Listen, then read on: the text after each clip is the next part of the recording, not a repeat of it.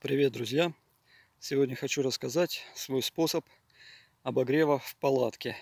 Ну, чтобы быть точнее, это подогрев для спальника в палатке.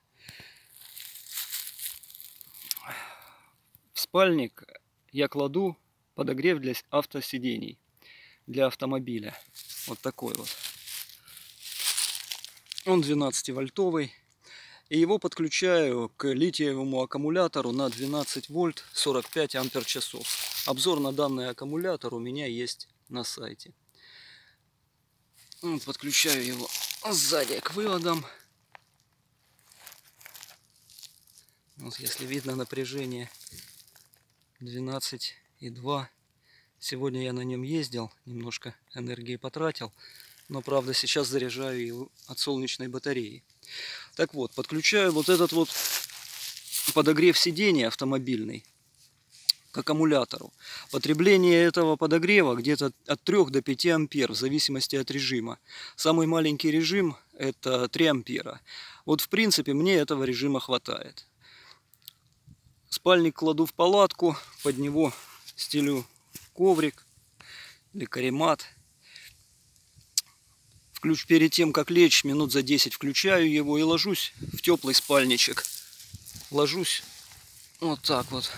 Прямо вот на этот вот подогрев.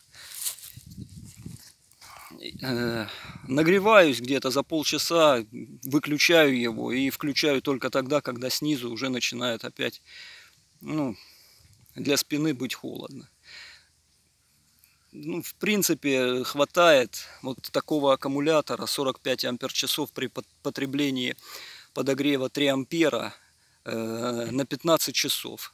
Ну, из опыта я скажу, что ночевал 3 ночи. То есть подогрев сидений не все время включенный, включаю его только когда становится холодно. Э, в большие морозы в нем, конечно, я не ночевал. Э, где-то минус 5, минус 7 это максимальный мороз. Э, вот сегодня хочу тоже остаться с ночевкой. Сегодня был на рыбалке. Хочу завтра порыбачить, остаться с ночевкой в палатке. И вот таким образом буду себя греть. Ночью обещают 0 градусов.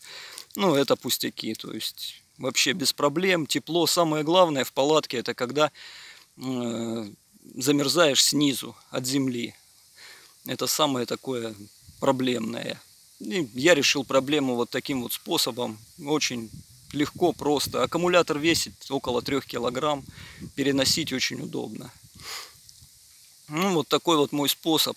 Э, преимущество этого способа. Э, во-первых, литиевый аккумулятор позволяет глубокий разряд, то есть я его разряжаю 12-вольтовый аккумулятор до 9 вольт и без всяких проблем потом заряжаю без потери емкости, там, без каких-то последствий для аккумулятора.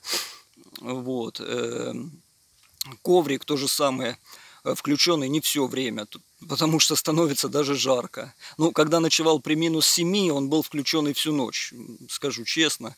Но это было там в прошлом году, там пару раз. Так попадал. Вот. А так, полностью заряженного аккумулятора мне хватает на 3 ночи. То есть включаю периодически, как начинаю э, подмерзать или такой холод чувствовать, то сразу включаю подогрев и все. Вот.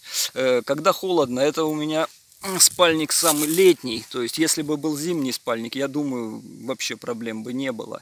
Ну, а так иногда накидываю сверху спальника еще верхнюю одежду. Чтобы сверху тоже было комфортно. И плюс от солнечной батареи э, подзаряжаю аккумулятор. Вот сегодня солнышко, так что идет подзаряд. Ну, если вы обратили внимание, сейчас ну, 12,3 вольта, то есть идет подзаряд от солнечной батареи.